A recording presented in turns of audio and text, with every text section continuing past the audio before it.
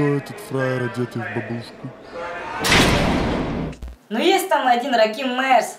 Асап, Рокки дразнят погремуха. Въебали они, короче, афганцев каких-то, блядь, в Швеции. Заезжал он крайний раз по хулиганке.